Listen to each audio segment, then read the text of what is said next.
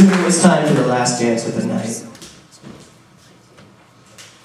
Everyone was saying their goodbyes.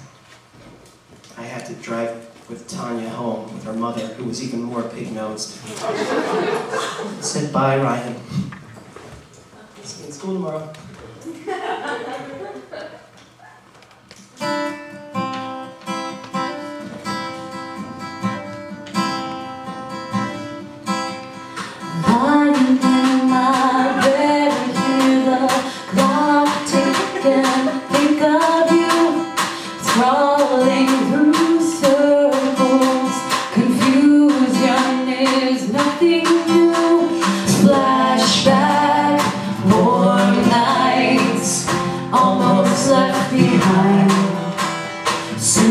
suitcase of memories, time after time.